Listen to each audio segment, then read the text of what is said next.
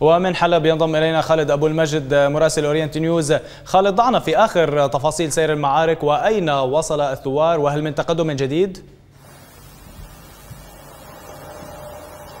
أهلا وسهلا بك فادي. آخر التطورات العسكرية هي بأن المعارك ما تزال مشتعلة بين الثوار وبين قوات النظام وميليشياته المتواجدة الآن في محيط كلية المدفعية والنقاط التي باتت نقاط اشتباك مع الثوار.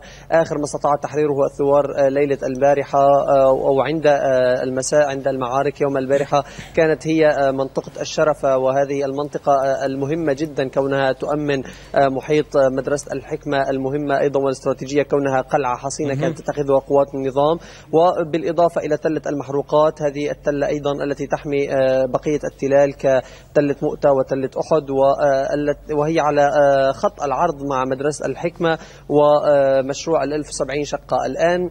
الثوار لديهم مرحلة جديدة من المعارك لربما سنشهدها على عدة مناطق يعني نعم هناك استراتيجيات حتى الآن الثوار لم يعلنوا أين الهدف الرئيسي لكن الآن باتت المعارك على أسوار كلية المدفعية أحد أهم وأكبر قلاع قوات النظام في أحياء حلب الغربية. أو أريد أن أنوه فادي بأن نعم المنطقة المسافة التي باتت تفصل الثوار من ريف حلب الغربي نحو المناطق المحررة والمحاصرة هي لا تتجاوز الواحد والنصف كيلو متر فقط. الآن أمامهم كلية المدفعية وأكثر من نصف منطقة الراموسة وبذلك يكونوا قد التقوا تماما وقد فك الحصار إن شاء الله عن أهلنا المحاصرين في أحياء حلب المحاصرة. أكثر من 300 ألف مدني متواجدين داخل الحصار حتى الآن. نعم خالد ماذا عن أهمية المناطق الجديدة التي يتقدم إليها الثوار؟ يعني تحدثت عن تحرير عدة مناطق. ما هي أهميتها وفق ما يتحدث عنه الثوار؟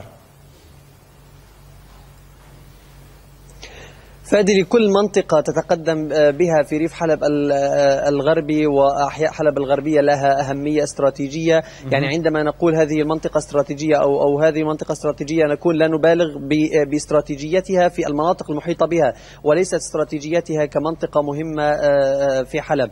يعني تحرير تلة المحروقات وتحرير منطقة الشرفة هي استراتيجية لحماية منطقة مدرسة الحكمة وكذلك تلة مؤتة ومشروع ال 1070 شقة. عندما كانت هاتين النقطتين بأيادي قوات النظام وميليشياته كان يصعب على الثوار الدخول إلى المناطق التي حرروها مدرسة الحكمة و 1070 شقة. الآن تم تأمين الطريق بشكل كامل وستكون من هنا مركز انطلاق لتحرير جميع أحياء حلب الغربية وفك الحصار عن أهلنا في أحياء حلب الشرقية المحاصرة.